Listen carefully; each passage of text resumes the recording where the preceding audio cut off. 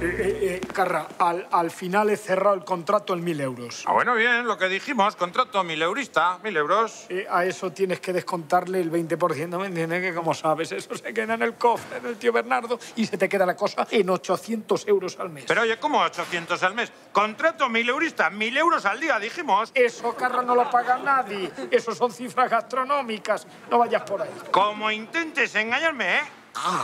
Tiro de sedal, te cojo, te retuerzo, te hablando hostias y luego un nudo marinero contigo. Un poquito, Carmina. ven.